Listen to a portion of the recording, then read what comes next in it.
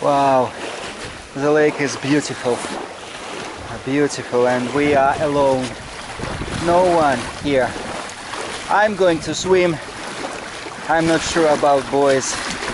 Well, you can see how clear the water is.